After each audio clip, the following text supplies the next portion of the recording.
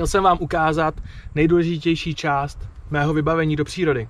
Jsou to tyhle ty boty, které se jmenují Mainl Island